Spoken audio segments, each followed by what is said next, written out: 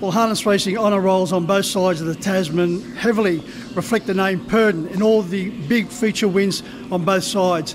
That Nathan Purdon now is looking to add his name to that honour roll as far as the New South Wales Oaks is concerned with his exciting filly Amor Vita. I caught up with Nathan on his arrival at Club Menangle today. Nathan, there's some very exciting names on that particular honour roll. Of course, we fight for glory, our dream about me, Partyon. Of course, your father also drove the great mare Stylish Memphis for Mark Jones.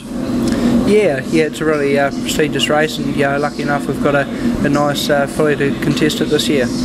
Amor Vita, tell us about her. She's a very determined character. Yeah, she is. She's uh, she's had sort of a quite a long prep, and she's probably not uh, not really a, a natural two-year-old. But what she done last season was really good, and uh, I think she'll grow on that too.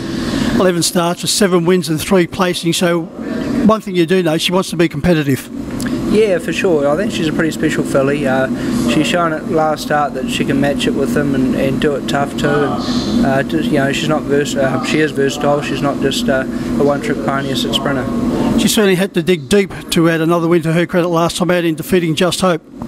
Yeah, she had everything sort of stacked against her that day, and uh, the leader got sort of led away with the cheap sections early, and then and then sprinted late, and she still outclassed her. So, uh, yeah, it just shows you she is a very top line filly. You've drawn in the middle of the line. What's the early game plan from there? Uh, well, not too sure really. I'll leave it up to the driver, but uh, I'm uh, not sort of. We put Chris Alford down, but he just said not long ago that uh, he's going to stay in Victoria for uh, for the heat. So uh, probably approach Cameron Hart and see if he can uh, take the reins there. Nathan, you've had a, a lot of success with fillies and mares Amor Vita currently, but also Spellbound, which is going great guns, and Amazing Dream. Is that been because of those the cards you've been dealt, or do you have an affinity towards the fairer sex of the department? Uh, a little bit the cards have been dealt. We got three really top fillies mares all at the same time. Um, I, I, do think you got to train them differently, but uh, yeah, in saying that, very lucky with the three that we ended up with. And we've seen Spellbound up here the next week. Yes, yeah, she'll be uh, she's settled in well and she'll be rearing to go. An amazing dream.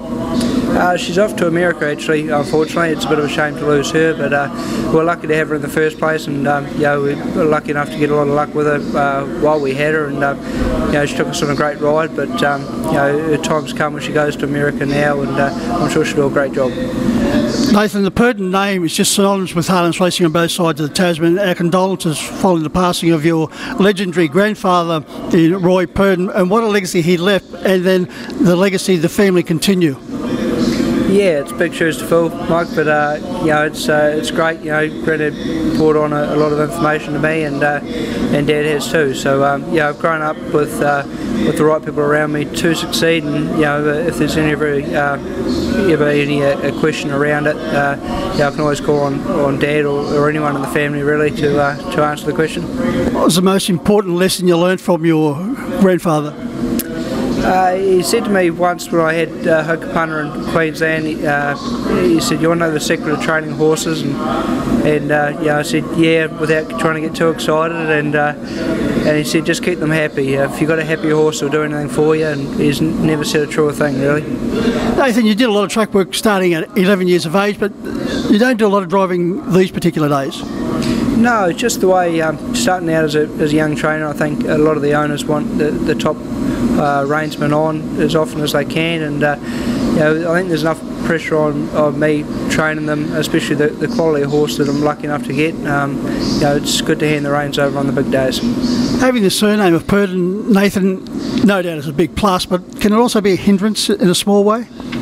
Yeah, I think um, you know people expect to have a high expectation when, when one of our runners step out, and um, you know, I put a lot of pressure on myself um, to, to make sure they're up to up to scratch, and uh, you know they're going to perform it at their best. But um, you know it's it's a blessing and a curse one on one, really.